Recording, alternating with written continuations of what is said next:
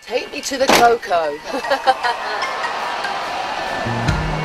I like London again. I've fallen in love with London again.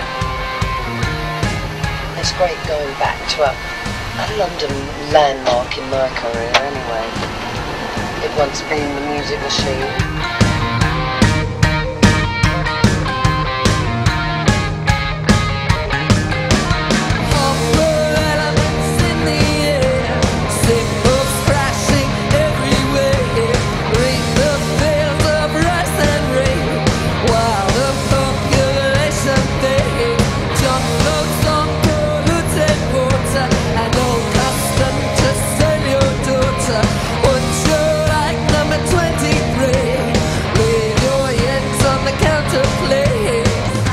When I was growing up, most of my kind of girls that I went to school with, it was always about meeting someone and having someone look after them.